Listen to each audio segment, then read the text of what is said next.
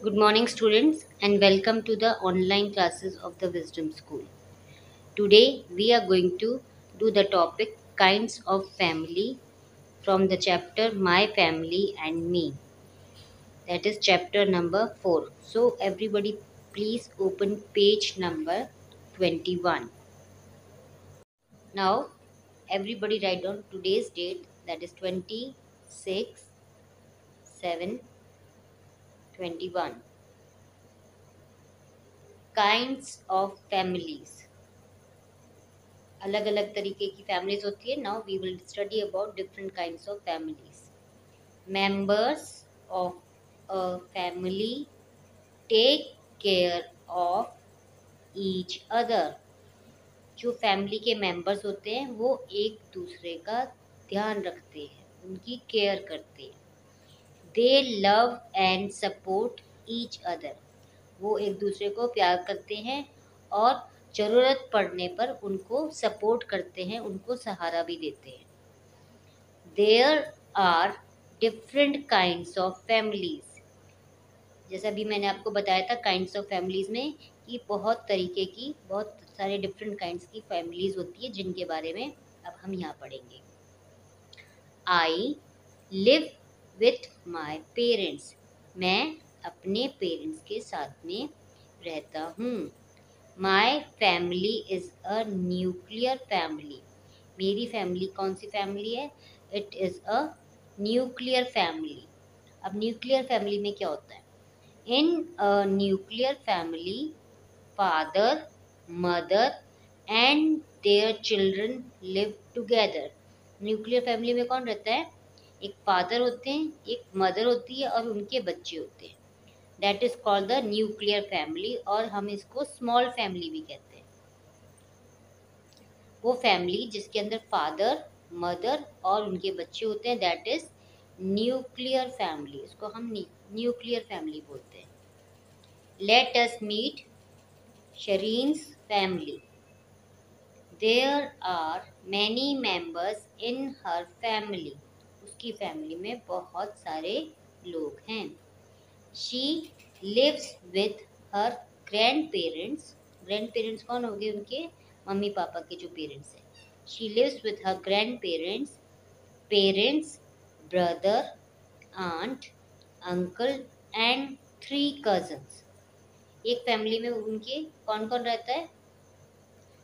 Grand parents उसके बाद उसके खुद के पेरेंट्स उसका भाई उसकी आंटी एंड अंकल और उनके तीन बच्चे जो उसके कजन्स हैं।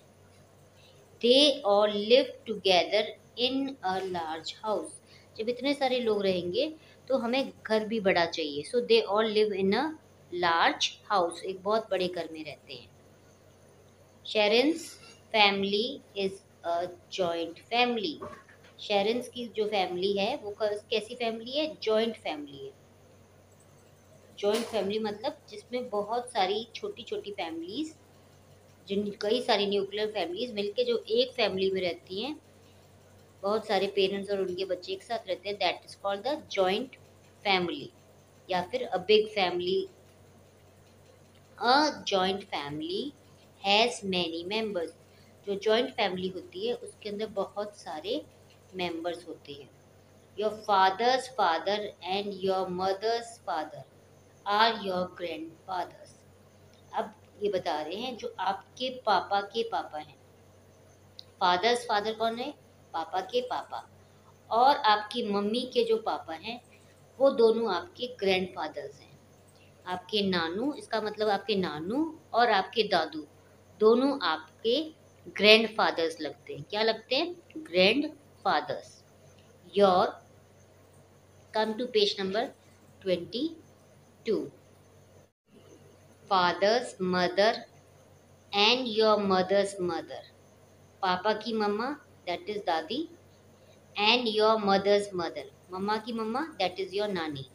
तो dadi and nani both of them are your grandmothers वो दोनों क्या हैं आपकी? ग्रैंड मदर्स अगर हम इंग्लिश में बोलेंगे तो हम उन्हें ग्रैंड मदर्स बोलते हैं।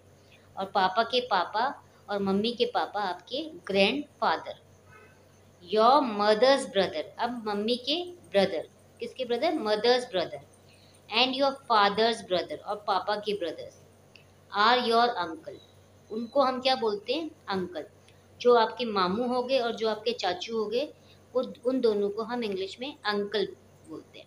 They are uncle your mother's sister मम्मा की बहन एंड योर फादर्स सिस्टर पापा की बहन. आर योर आंट्स वो आपकी आंट है। The children of your uncles and aunt अब जो आपके पापा के ब्रदर्स हैं और मम्मा के ब्रदर हैं, उनके बच्चे या मम्मी की सिस्टर है, जो पापा की सिस्टर है, उनके बच्चे। वो सब बच्चे आपके कजन्स हैं। दे आर योर कजन्स मतलब पापा के ब्रदर मतलब चाचू मम्मी के ब्रदर मतलब मामू। मामू के बच्चे, चाचू के बच्चे। उसके बाद मम्मा की sister is your mausi and father की सिस्टर इज़ योर बुआ। तो कौन कौन हो गया? चाचू और बुआ, मामू और मौसी। इन सब के जो भी बच्चे हैं they all are your cousins वो आपके कजन्स हैं। So here we complete the chapter यहाँ हमने अपना चैप्टर कंप्लीट कर लिया है, जिसका रिवीजन हम नेक्स्ट क्लास में करेंगे और उसके बाद हम अपनी बुक एक्सरसाइज करेंगे। So thank you very much बेटा। Have a nice day